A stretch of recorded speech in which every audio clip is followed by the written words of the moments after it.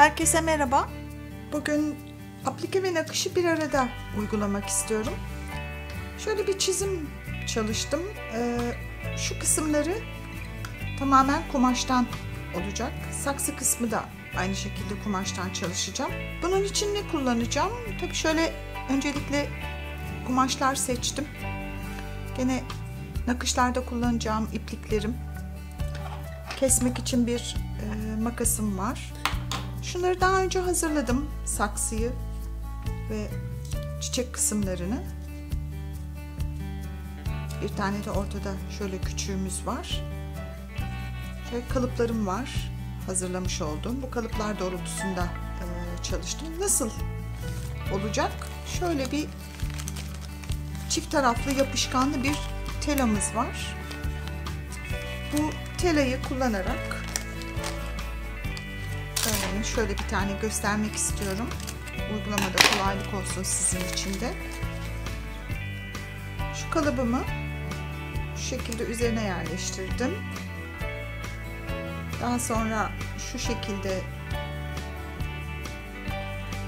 çizdim. Şurada da olduğu gibi. Kumaş kullanacağım kısımları, telaları belirterek hazırladım. Şimdi peki ne yapacağız? Bu telayı da hemen hemen her yerde bulabilirsiniz. Çok da basit bir malzeme. Gördüğünüz gibi şu kısmı yapışkan. Çift taraflı kullanılabiliyor. Ee, burasını yapıştırmak istediğimiz kumaşın üzerine ütüleyeceğiz. Daha sonra üzerindeki kağıdı kaldırarak diğer kısımdan da e, diğer kumaşa sabitleyeceğiz. Saksıyı şurada kullanmak istiyorum tersini çevirdik. Şu şekilde. Saksımız da burada. Bunun üzerinden şöyle şöyle küçük bir el ütüm var. Bununla üzerine şu şekilde sabitliyorum ama tersten olmasına mutlaka dikkat edin. Kenarlarını iyice bastırıyorum. İsterseniz standart bir ütü de kullanabilirsiniz. Bu genelde çiçeklerde kullanılan bir e, ütü modeli. Ama ben burada çok küçük basit işlemler için büyük bir ütüyü kullanmaktansa açıkçası bunu kullanmayı hep tercih ediyorum. Evet şimdi bu gördüğünüz gibi bakın üzerine yapıştı ve evet şimdi hazırladığım saksıyı kağıdın kenarlarından kumaşla birlikte kesiyorum.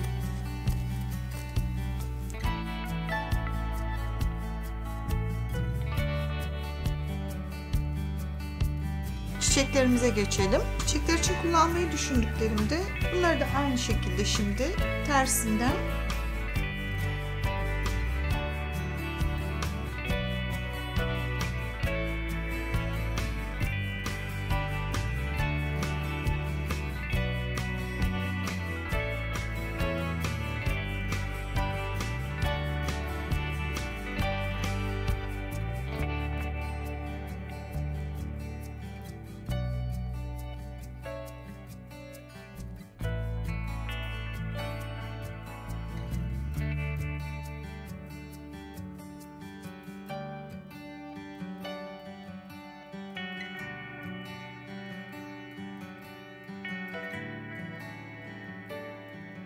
Şimdi aplike için tüm kumaşlarım hazır, kesildi, bekliyorlar. Bunları ana kumaşa aktaracağım.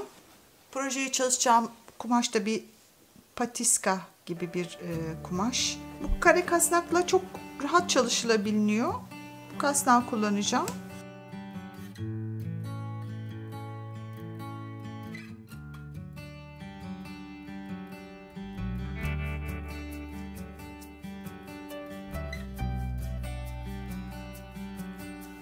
Ortalamaya çalışalım. Deseni eşit mesafeler kalsın. İki tarafından da 12 santim. Evet 12 santim aşağı yukarı. Şu şekilde biraz aşağıya alırsak. Böyle. Evet demek ki saksımın hizası aşağı yukarı burası. Saksıyı onu ortalayarak yerleştireceğim.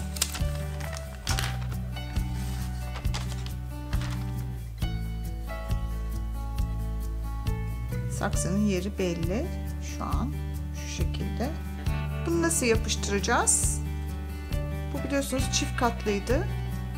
Bunun altındaki kağıdı şu şekilde kaldırıyorum. Bakın tekrar bir yapışkanlı yüzey var burada. Bunu buraya aldım ve tekrar ütümü kullanarak şu şekilde yapıştırıyorum. Çiçeklerimizi yerleştirelim.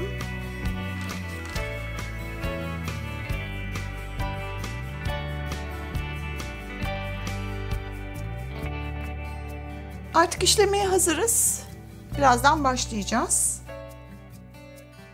Şimdi moline iplikleri 6 kat kullanarak saksının etrafına kontür oluşturacağım. Bunun için de gene ince bir dikiş ipliğiyle renkleri uyumlu olabilir. Üstten tutturma dikişleriyle rahatlıkla bu kontürü oluşturabilirsiniz.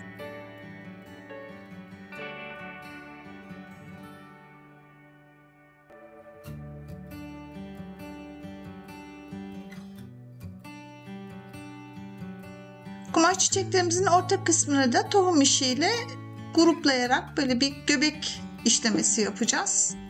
Yaklaşık 13-15 adet tohum işi yeterli olacaktır. Çiçeğin yapraklarının çevresini de bir iğnesiyle çevreleyeceğiz. Ee, öncelikle birer tane uzun atkı atıp üzerinden de birit iğnelerini doldurabilirsiniz rahatlıkla ki ben bu şu an o yöntemi tercih ettim aslında.